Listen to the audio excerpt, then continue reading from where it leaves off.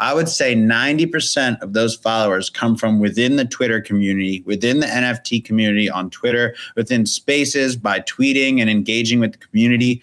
I did not gain 10K Twitter followers by going on Instagram and telling my 140K followers to come to Twitter. That didn't work. I mean, it works uh, it works all right. Maybe I'll get, you know, four or five people that come over if I post about it. But the way that I've gained thousands of followers on Twitter has been 100% from engaging in the Twitter community. And I would say 99% of my collectors or something, maybe even 100% of my collectors come from Twitter. That's right.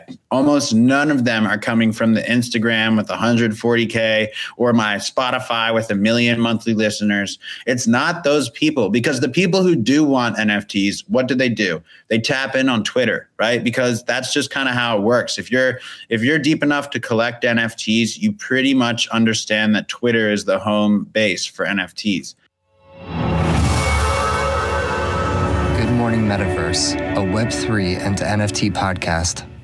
Good morning, Metaverse. Thanks for tuning in to the GM Metaverse podcast powered by Mint Songs. My name is Josh Gordon, and I'm the host. I'm so thankful to be able to come back week after week and interview so many inspiring artists and creators and entrepreneurs in the Web3 space. Today, we've got a great episode with Dyl an artist who has a career that spans from the traditional music industry world. And he really dives into how he's leveraged Web3 and NFTs and crypto to, to brand himself for years to come.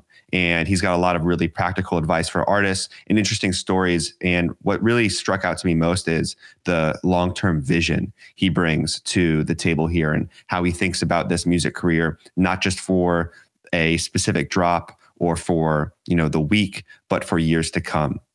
Now, before we jump into that, we've got a quick tip, and today's is around Twitter Spaces. We've mentioned Twitter before on like making sure you're following the right people, but today is find Twitter Spaces that are really catered to your your niche, the area of interest that you want to grow in, specifically around music. There's some great music Twitter spaces going on right now. We mentioned them in the episode, but every Friday, Mint Songs has a Twitter space at 1 p.m. Eastern, 10 a.m. Pacific. And in these, we can walk through, you know, different artists. Maybe you, if you raise your hand and come on up to the stage and ask some questions to help artists strategize, create, and build their Web3 communities. So if that sounds of interest to you, if getting some you know really personalized advice and feedback on you know your strategy in the web3 and nft world would be helpful jump on into the mint songs twitter space and let's get talking so with that said let's hop on over and have this interview with Dyl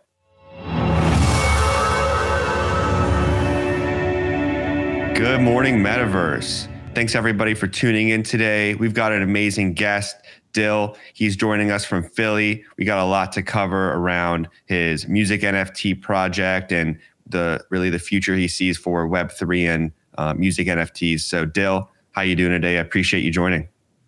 What up, Josh? How's it going? GM GM. Happy to be here and happy to talk about music NFTs. I've been uh, getting up every GM and I'm degenning these music NFTs all day, every day. So there's a lot of exciting stuff going on even in the past couple weeks. Yeah, I seen you really like pushing pushing a lot of stuff online. Um, like from your Twitter, you're super active there, and like your Discord community. What's been like? What's been the biggest thing you've been focused on as of late?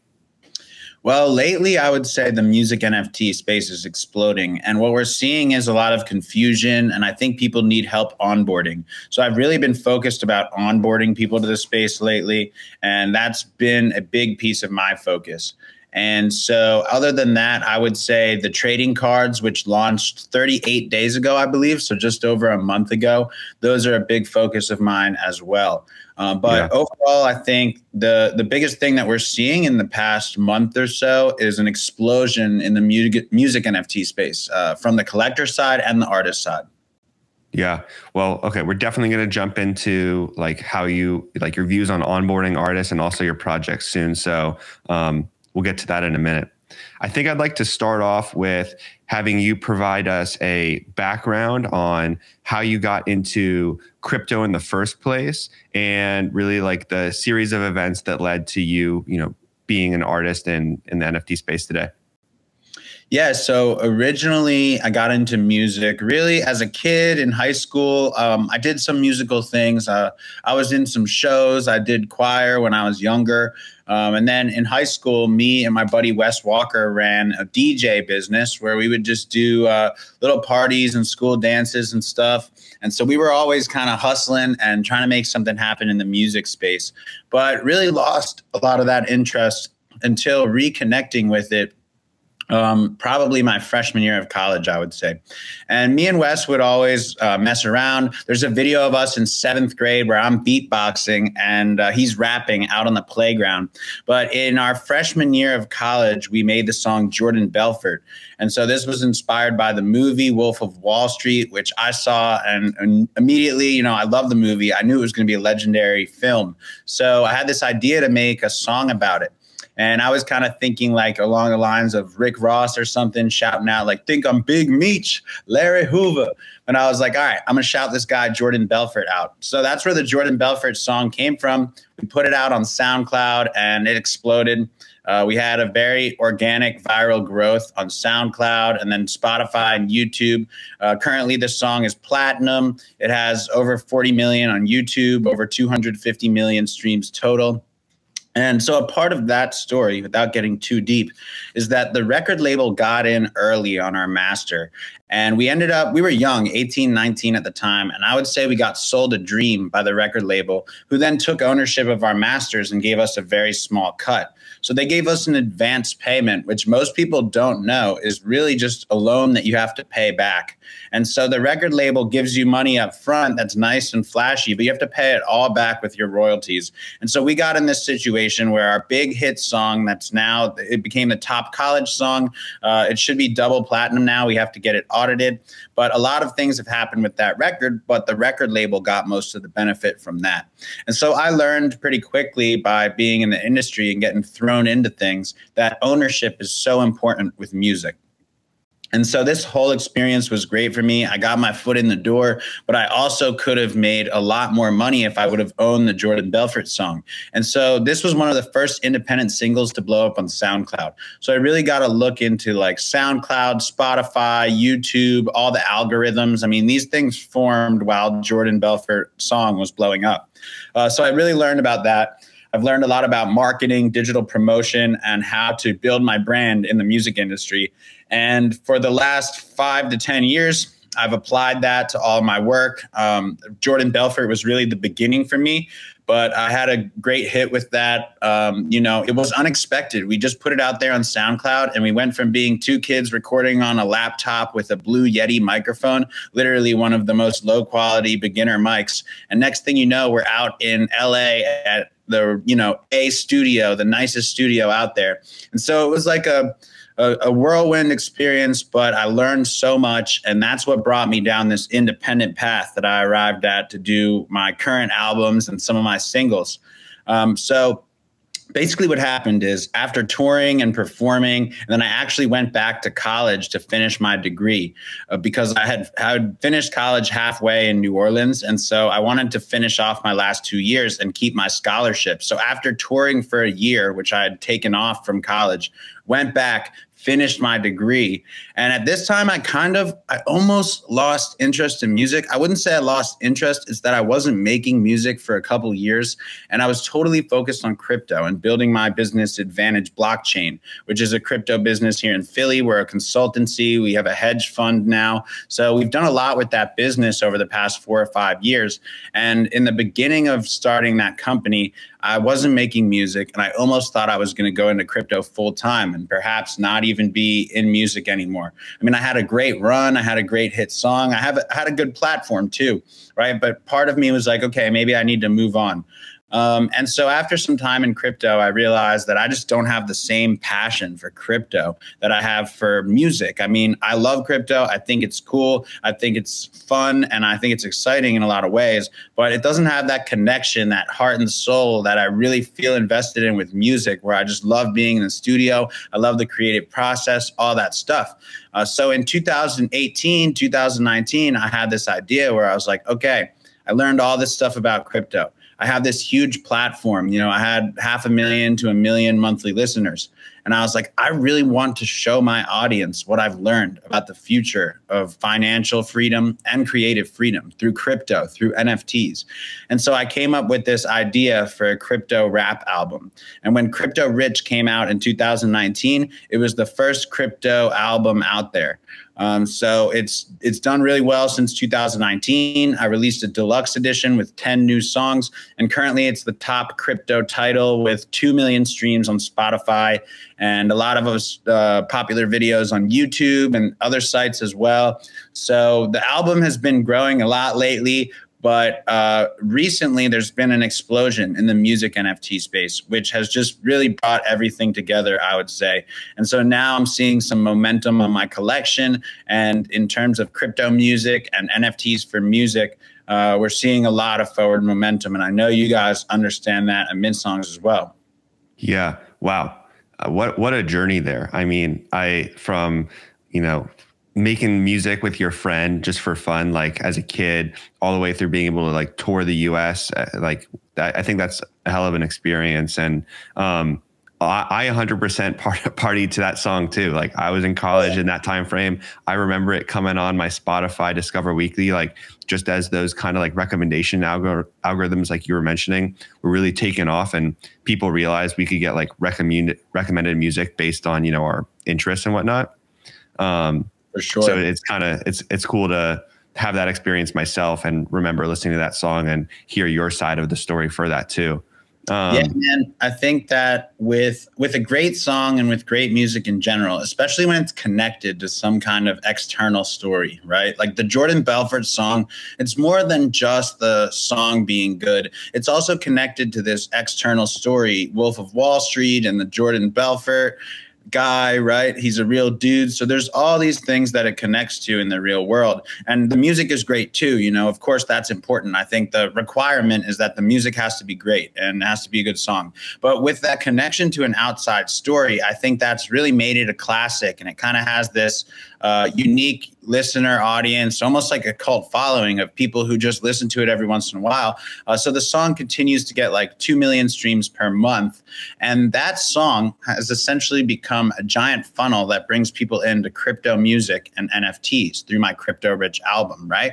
And so I would draw a comparison between the Crypto Rich album and Jordan Belfort in that Crypto Rich is connected to this entire story of crypto, Bitcoin, blockchain, Ethereum, NFTs, everything that I've created around around this.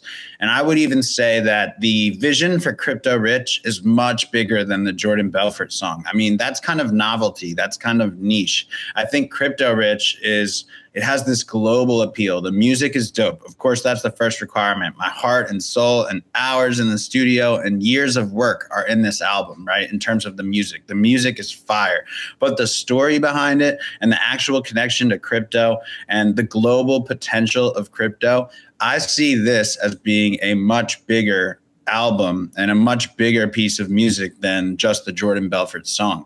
So a lot of people know my music from Jordan Belfort. They've seen that song, they've heard it, and just like that song took 4 or 5 years to really go platinum. I mean, I think it, I think the song went platinum in 3 years and then double platinum in about 5 years. So it, it, takes a long time for a good story to circulate and for music to grow. And so I see the potential with Crypto Rich to be much bigger than the Jordan Belfort song alone. Uh, so it's just a matter of time until uh, the music really has a chance to circulate because that's the thing. It takes time, effort, and consistency.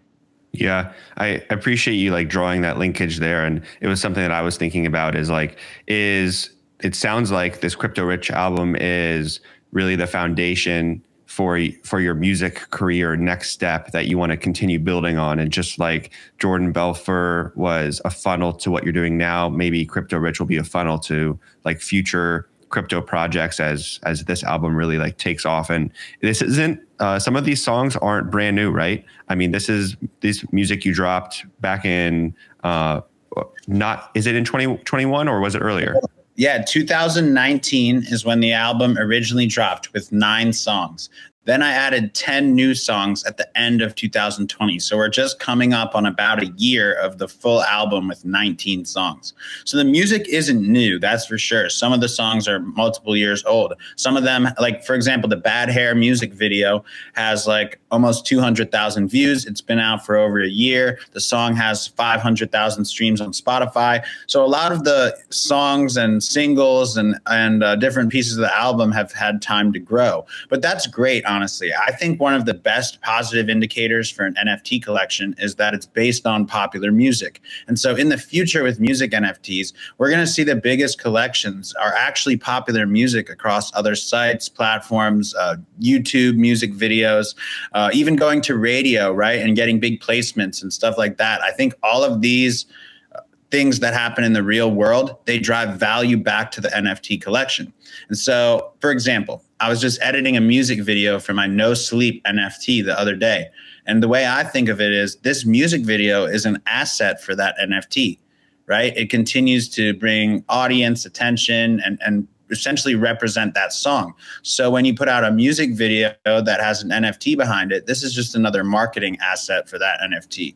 So in many ways, to connect to what you said, it's like Crypto Rich, the album, is actually the best funnel for NFT sales and NFT purchases. Because if you want a piece of the future of this music, you see the vision, then you get that NFT, you own a piece. You can share in my success, right?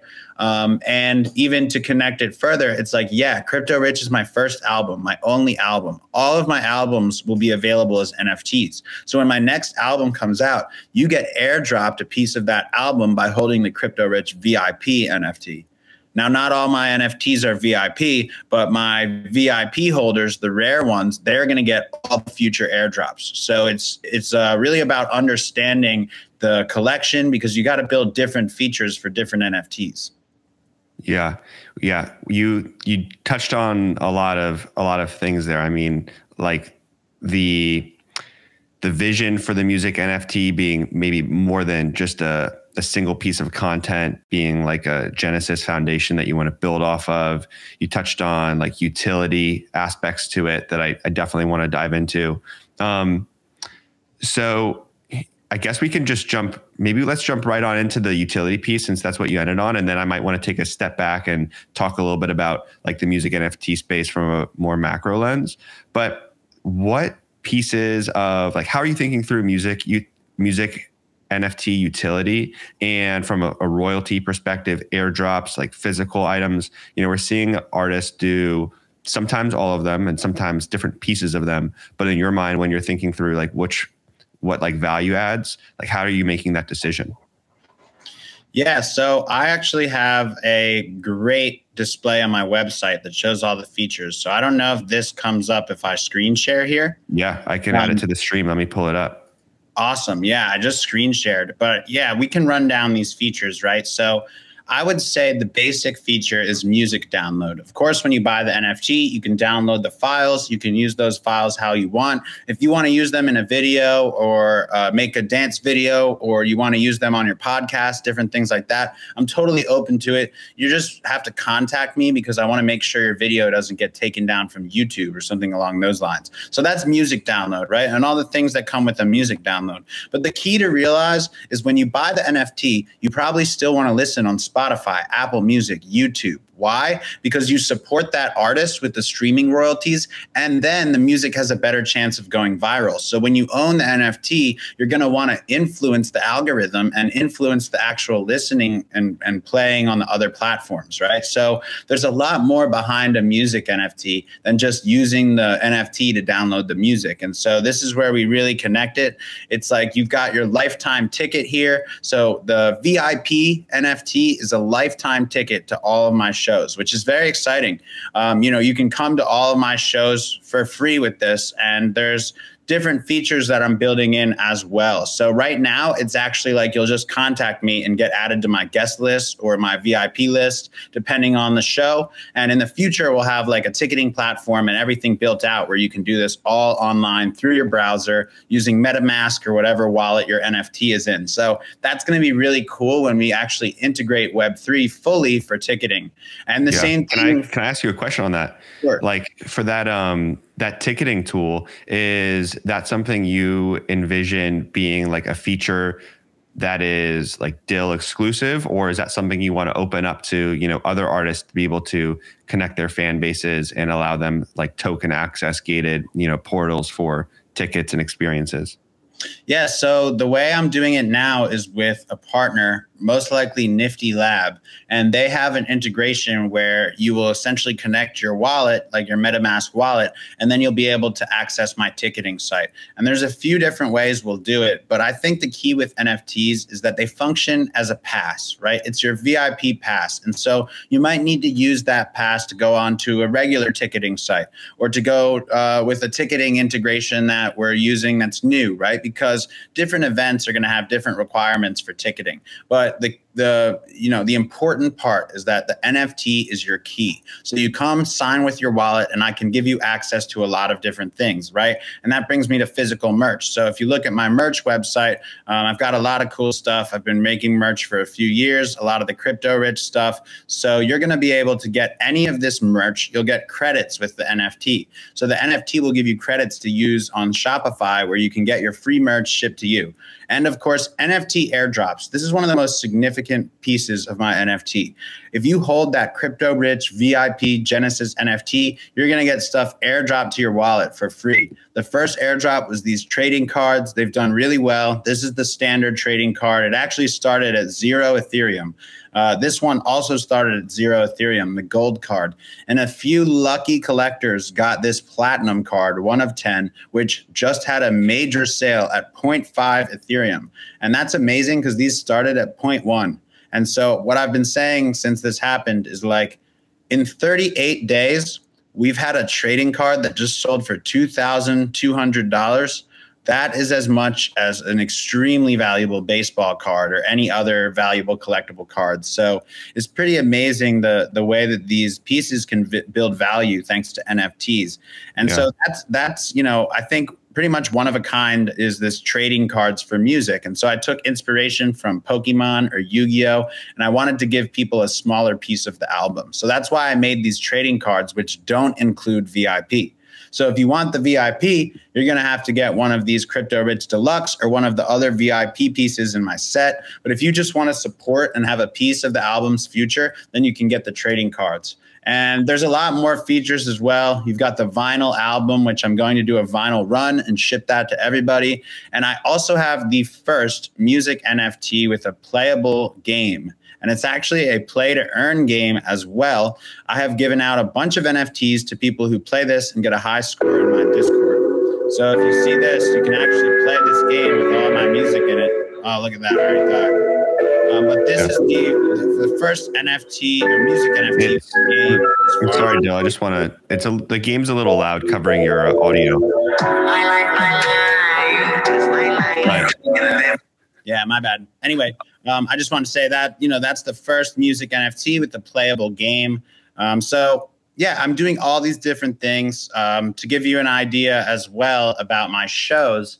I also uh, uh, I have this VIP event history, right? You can see here all the events that I've done for VIP holders. Uh, probably need to add a couple more because I just did something at NFT NYC. I've got stuff coming up in uh, Miami for Art Basel.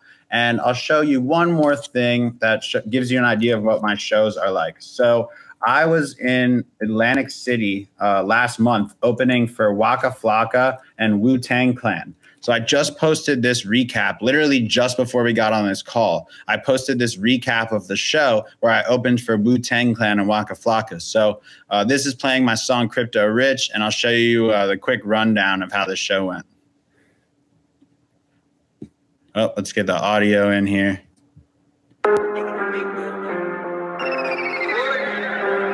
I made some racks with it. Could make a million on the blockchain. I was getting dirty money, now I'm popping. Baddest baby bitch, I'm sipping champagne. Here for the rocket, cause I'm tired and I started being really flipping tones for the fam. They call me feeling still, but you don't know who I am. Resting on my balance, gotta check it all day. Blowing all my money, got to hit a hundred K. I'm riding in it, riding in the bed, in the bed. I'm the famous, I'm dripping, it's not raining. So you can't mess with my babies. I don't hear what you're saying. For everybody listening to the pod right now, you can go over to Dyl's Instagram and view this recap there. That that just like the uh, just like your domain, it is lit. It looks lit right there. Um, that's an ama- that's amazing opening for uh, for those two artists.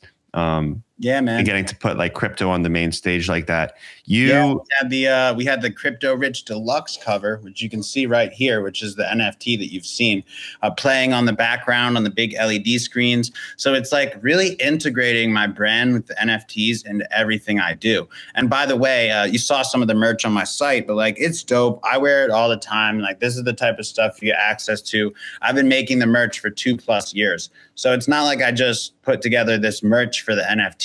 It's like actually the NFT t-shirt already existed before the NFT because I've been making this for a while. So there's yeah. a lot of history behind uh, the Crypto Rich NFT and the album and my music career. Is is it, now you just went super deep on all the different utility uh, forms for this NFT, and I would say that is that is on the higher end of utility from artists that I'm seeing, uh, which is really awesome and impressive. For if you were to give advice, like you mentioned earlier, you play a big part in trying to help onboard artists into the NFT space. How are you making recommendations to them around, you know, utility thoughts? Because not everyone has the ability to put together a play to earn game and, you know, to have some of the features that I think that you included in your project.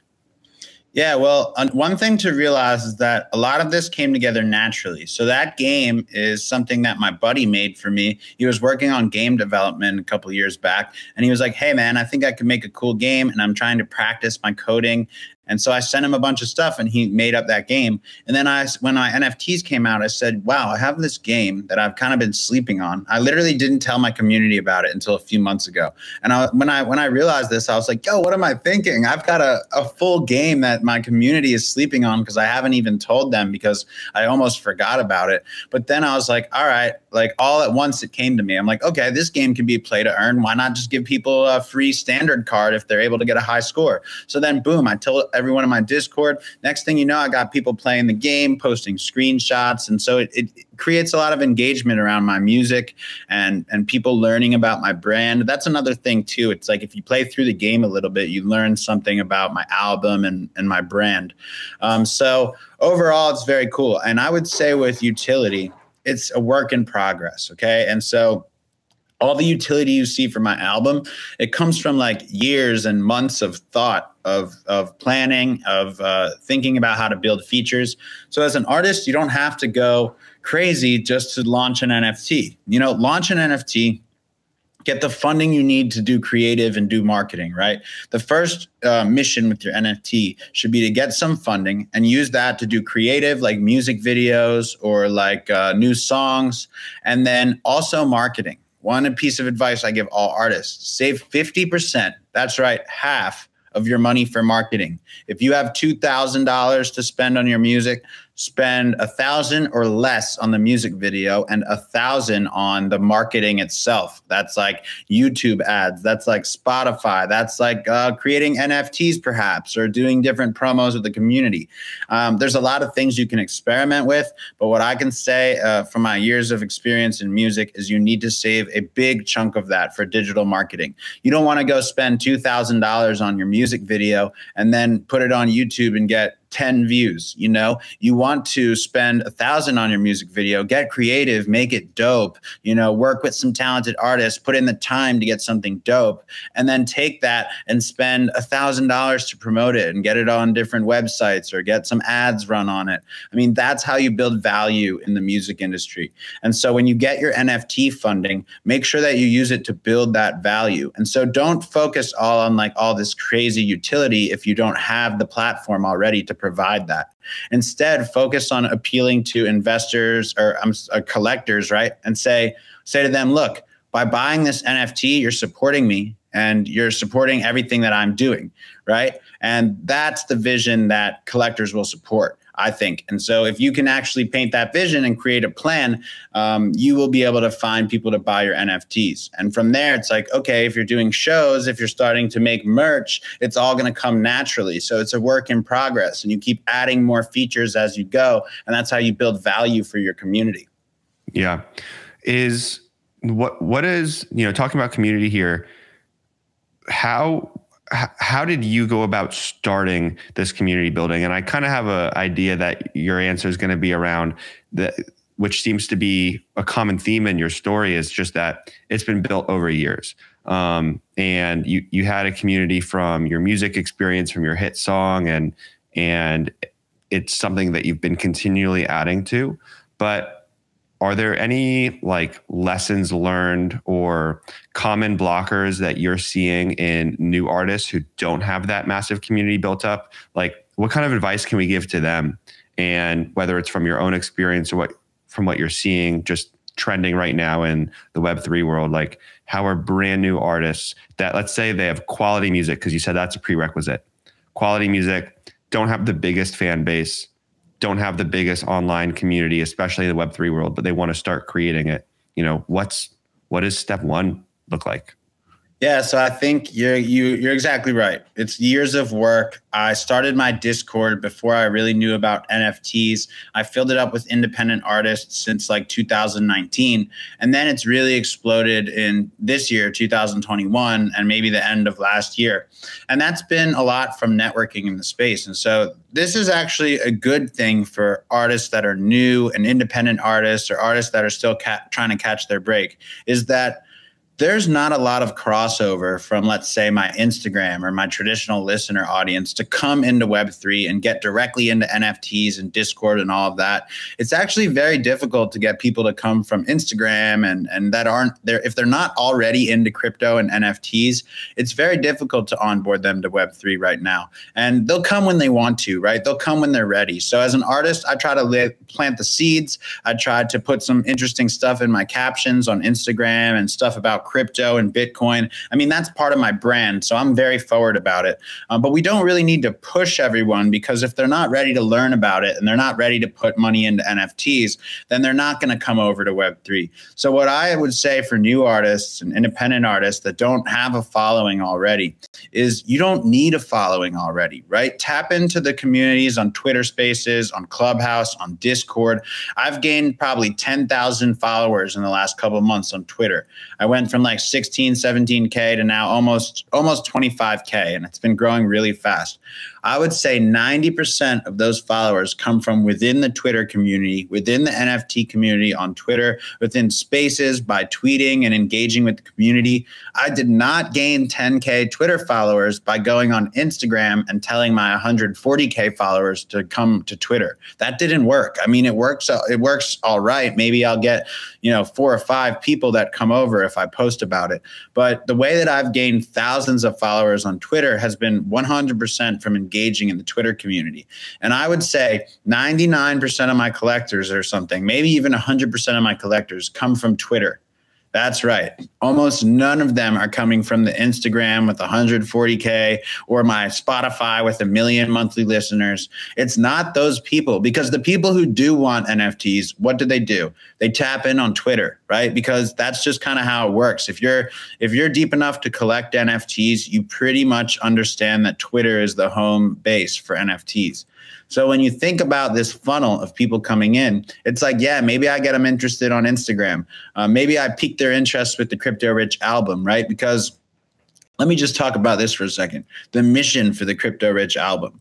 The whole idea with Crypto Rich, the inspiration behind this project was to use my platform to teach people about crypto, to teach people what I had learned about NFTs and financial freedom. So, with the Crypto Rich community, we're a collective of individuals focused on enabling financial and creative freedom right? So we are essentially using this community to help artists, to help collectors, to allow listeners and fans to get in on the music and the success. And I feel that music has the potential to reach billions of people. I think that the Crypto Rich album can be global. It might even be popular in places where English isn't the first language just because of this connection to crypto as the OG crypto rap album. So I hope that my music is able to touch people beyond just artists, beyond just collectors, right? It's about the person who hears Crypto Rich one day and maybe they buy some Bitcoin or buy some Ethereum, and Crypto Rich was part of the inspiration. Uh, so I just think that the the music has a potential to reach so many people and inspire people around the world. And with Crypto Rich, that's what we're focused on: is enabling people to reach financial and creative freedom. I think that if you're still listening by now, you understand that crypto is the path to financial freedom. And when I realized that, I wanted to bring it to a hip hop audience. And so that's that's really the idea here. And slowly but surely, we're building a community around those principles. Mm. Mm, wow. I love that mission and that vision. And, and that was on my list of questions to bring up to you. So I'm happy that that just got, you know, looped in by you organically. It's, you know, hip hop culture and especially music is really focused on money, right? And like, you know, traditional wealth. And, um, but I would say that a lot of music doesn't really touch on how to acquire that wealth, you know, outside of just becoming the world's biggest rapper. But what you're yeah, doing in terms of stuff, right? It's like drugs and like you know, whatever, guns and violence and all that stuff. And look, I like rap. Like, come on, I'm a hip hop fan. I'm with all that. And I didn't want to make a nerdy album that people wouldn't be able to relate to, where every line's about crypto. I wanted to make something that was like dope. It still sticks to the themes that are popular in hip hop. It's not like every single line is about the blockchain and my new NFT. It's like there's a couple lines in there, tasteful amounts of crypto. It's like rapping about money, dollar bills, wealth, cash, just like rappers do now, except incorporating concepts that I was already living, just like Bitcoin, Ethereum, smart contracts, right? Um, but a lot of the album, you wouldn't even know it's crypto music if you don't know the terminology. Or even if you do know the terminology, you might hear the song and you're like, yo, this is fire, this slaps. And then you hear a crypto line and you're like, yo, did this guy just say something about crypto?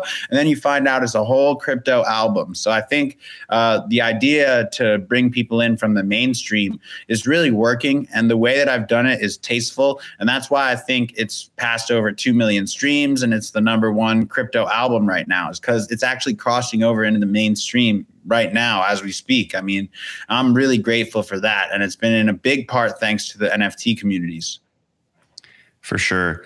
Yeah. I mean, having, you know, people getting introduced to crypto through this music is is awesome. I mean, who knows how that can affect someone to start buying some Bitcoin, you know, getting some Ethereum, going down the rabbit hole of really kind of understanding the Web3 concepts. Because one of the biggest gaps that I see people talking about this a lot online is this education gap, this onboarding gap we have for for crypto in general. It's a it's a lot to take in. It's constantly uh, evolving, innovating, and finding some fun, engaging ways to introduce people to that, especially through music, which is something we already all consume um, yeah. is massive. Now, um, I was just going to say on that is like, I think you've seen the content onboarding side. Uh, one thing we haven't seen is my music videos. I have dope music videos, like a bunch of them from Crypto Rich. I do them independently. So that also helps bring people in. But that's the music and content side. On the more technical and education side, I have this pinned tweet on Twitter um, and the thread went absolutely viral. It's at almost 700 likes now, and it's helped onboard so many people to the music NFT community. So I actually do a lot of stuff on Twitter, on Discord, which is more technical, like actually walking people through how to get into music NFTs, uh, how to make their own music NFTs. My pinned tweet is basically like a blueprint for those music NFTs. Um, and then I also do three times a week spaces. You can tap in with me Monday, Wednesday, and Friday Friday and learn about music NFTs directly, ask me questions, ask other amazing people in the community because I'm nothing without all the other awesome people that get on these stages and share information. But when you tap into my room Monday, Wednesday at 6 p.m. Eastern or Friday at 11 a.m. Eastern, you can ask me and a bunch of other talented, experienced people in the music NFT space any questions you might have, right? Or anything you want to learn about music NFTs. So I think that's really great. And I would love to have you on as well, or some of the Mint Songs team on sometime. Yeah feature and do an interview where we can answer lots of different questions. So um, yeah. this is three times a week show. I'm always looking for hosts and sponsors and uh, people that just help me out with the show. So it's just about making a place for people to talk music NFTs.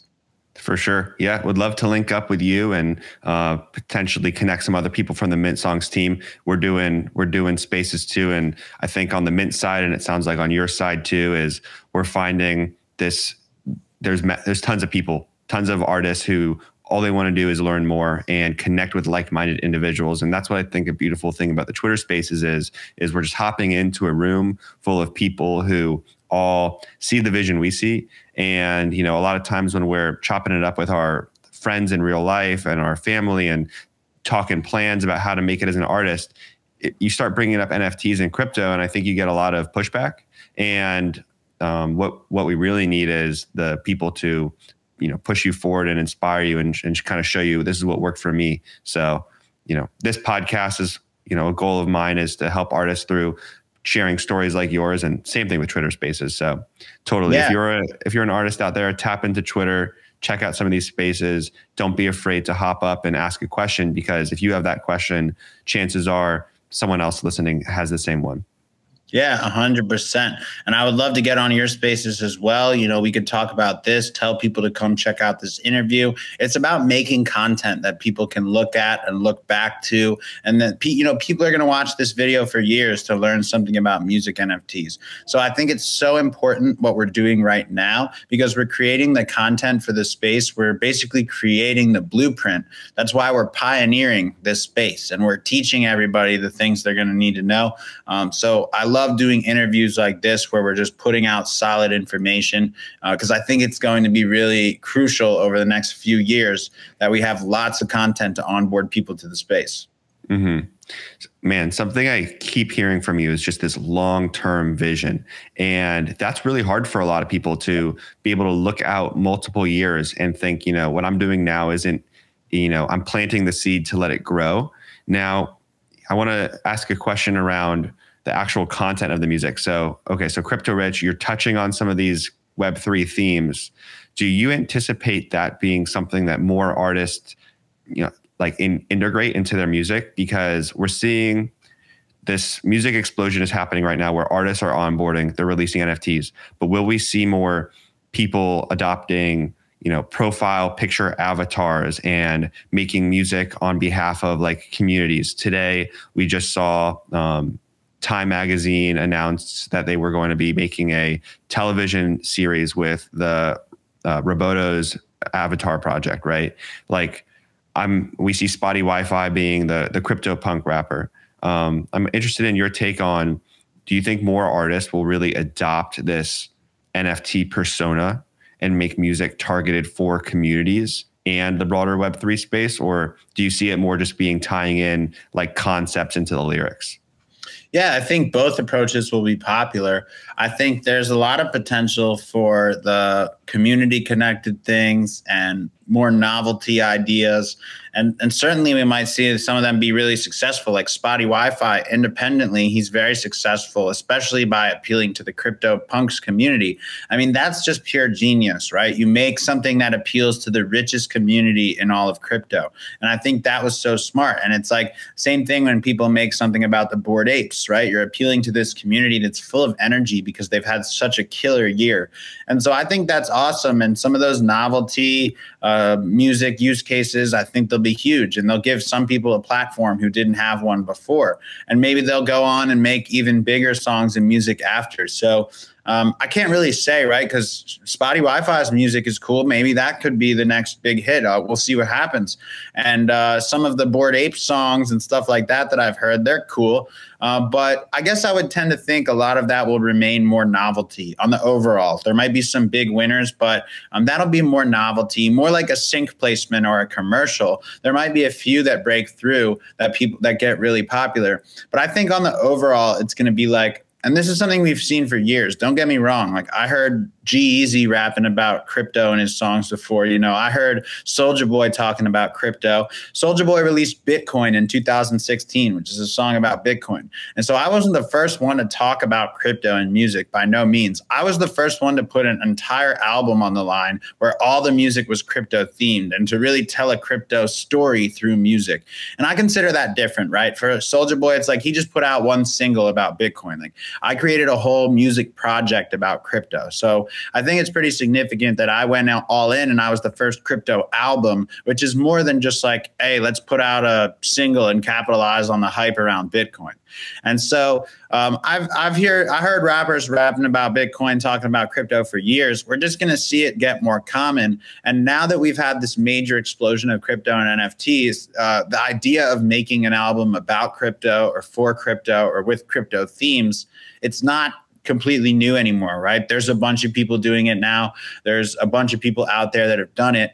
But as far as I know, nowhere near the depth of content that I have around the Crypto Rich album. But that's just because I've had years to do it and I had years of experience in the music industry before that.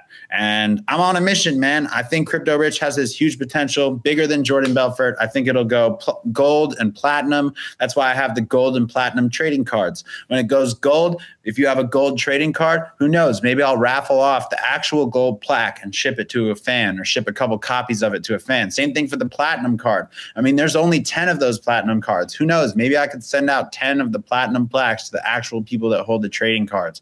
So I'm bringing in all this creative utility. Um, I'm making a lot of different items around my album. My goal with the Crypto Rich album, one of my big goals, is to reach a billion dollars in market cap around a single album. I think think with NFTs, we can create such a huge brand, and that can be around a single collection or an album. And so with Crypto Rich, I'm like, why not? Why couldn't Crypto Rich be the album that has a collection worth $1 billion around a single album? So that's my goal. And I've built everything with the long term in mind, just thinking about, okay, I'm going to need thousands of items. You know, if I only have 100 items, we're probably not going to hit a billion market cap. So I'm planning, I'm expanding my collection. I continue to innovate and do airdrops drops, such as the trading cards, and who knows what'll be next. But um, there's there's so many ideas, right? Like even wearables for like Decentraland and Cryptovoxels based on my album. Like basically this merch that you're seeing right here, but in the game. I mean, and those are NFTs. So like the NFT airdrops thing, it's not just like these cool collectibles. It's like items. It's like, who knows, maybe a social token in the future. So um, I'm doing a lot of different things that'll bring value to my collection. Yeah. What I'm hearing from you is uh, something that I, you know, a word that I heard from Chris Dixon, you know, a very popular like Web3 investor and and like thought leader, talk about composability and how what Web3 allows is us to build on top of assets that are created because everything's open, right? And kind of hearing that same concept being applied to your vision, you know, the first NFT you make isn't, it doesn't end there. It's not in this closed system. You can build on top of that and add additional features and experiences, you know, along the way. So, Oh yeah, a lot great. of people ask me. A lot of people ask me, and and it's not their fault, but a lot of people will go, "Hey, are you releasing a new album soon? You ready to drop the new album?" And I'm like, "Yo, I actually do have an album in the vault. I have a lot of good music, but here's the thing: Crypto Rich needs my time, attention, and energy to really grow that. If I just move on to the next project, next collection, I'm going to lose some of the focus of my collectors. And so to me, it's like I put my heart, soul, time, and energy into this music over years. It took me years to make this album. So I need to put the same amount of effort or more into creating the ultimate NFT collection around it. So, yes, I'm going to be dropping new music. I'm going to be airdropping new music to NFT holders. But for right now, it's about music videos. It's about content for the album. It's about expanding my collection. Like I just dropped 1,110 trading cards, like I mentioned. And that was huge for me because it took me from having a couple hundred collectors potential to now I can have a couple thousand or like 1,300 collectors. And just since that trading card drop, I went from like 50 or 60 collectors to now almost 250 in five weeks right? So this is like 5x my collector base in five weeks or something. Mm, that's awesome. Awesome to hear. So I think we covered a lot. I'd like to ask you some of our final questions that we wrap up every podcast with. Um, First one being, you know, your roadmap. You've touched on it a couple times, so if this is brief, that's okay. But where where are you going? What are you building next? And um, you know, how can people get involved with that?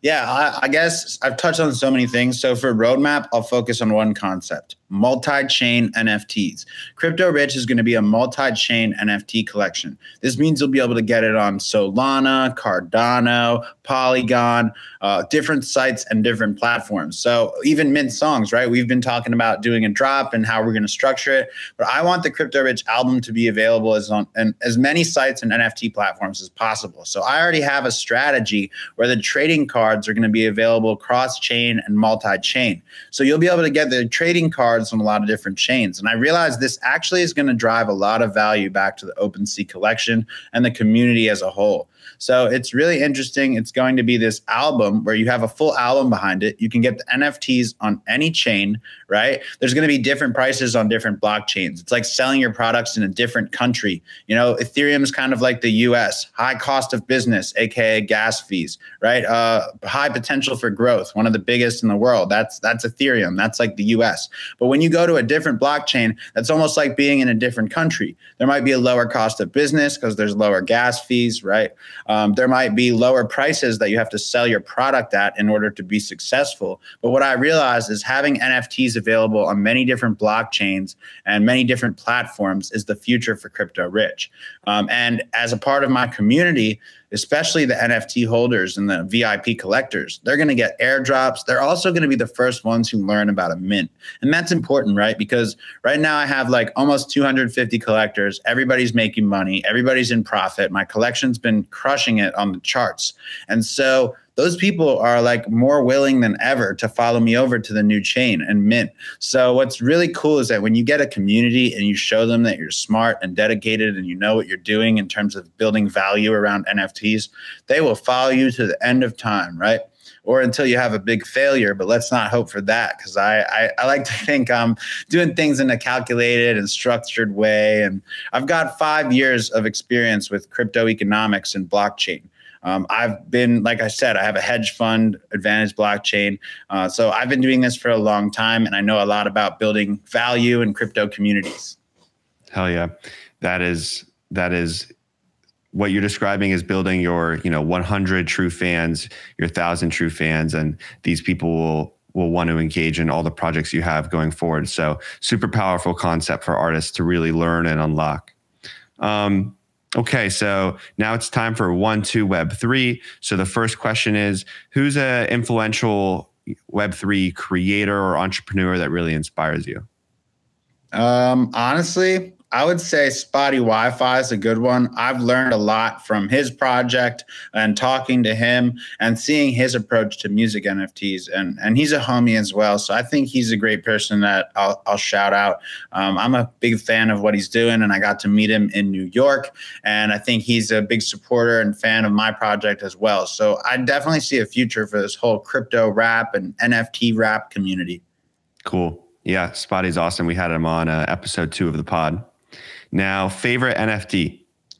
Favorite NFT. That's that's a tough one, man. I really like the Lazy Lions because I got into them at a low price and they've done pretty well for me. And I love that community. That's the OG uh, PFP community that showed me how great these communities are for everything right there for engagement, for growing your own community, for learning how to connect with collectors. So I'll give a shout out to the Lazy Lions. They're great. I'll also give a shout out to the GM Punks by my homie Pixel Lord. Pixel Lord is awesome. I've been collecting his GM Punks for a while, and I recently sold one for a major gain when the collection exploded overnight. So I love to see artists winning, and when I have the NFTs and I'm benefiting from that, that's super awesome. Nice. Always like to see a, a positive flip on an NFT. And in five years, what's the craziest thing we'll be doing in the metaverse or with music NFTs that we're not even thinking about yet? Oh, very interesting. Well, I think most people don't realize that in five years, uh, it it will be like billions of dollars of assets built on top of the current music industry, right? So in five years, it will be more about going and listening to a song and finding an artist that you like, and then seeing where their NFTs are, because almost every artist and an album and music project could have an NFT connected to it. So I think people are going to like to listen and support artists and music that you can get as an NFT. So it's it might be like almost like you look at the top music charts and you're like, wow, whose NFT is doing well now?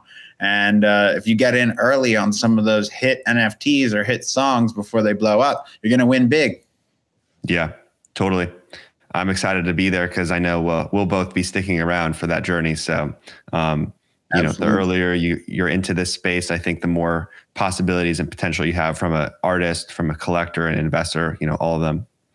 Well, this was a great discussion, Dyl. I appreciate, I mean, you really laid down so many facts about your story, your experience in the NFT space, really, really practical advice for new artists getting in. Um, I encourage everybody listening to this pod, follow Famous Dyl on Twitter join the Twitter space as we mentioned, whether it's on his, on the Mint songs, you know, any Twitter space going on. So much to learn, and there's a lot of people that are here to help you on your journey. So we will uh, we'll we'll keep in touch and appreciate you coming on, man. Yeah, thanks, Josh. Appreciate it. Check out my music. The fastest way is to just watch a music video and see what it's all about. My music is always free to listen, and there's a lot of ways to support. You can just stream the audio or watch a music video, but you get the NFT for that deeper connection to my success. So I appreciate everyone, even if you're just tapping into this interview or listening to some music. But if you get the NFT, then you're going to be really on my side, and I'll set up a meeting with you and talk more about different stuff. It's all about that personal connection connection. For sure. All right. Well, we'll catch you all next week. Thanks for listening to the Good Morning Metaverse podcast. Peace out. Good Morning Metaverse, a Web3 and NFT podcast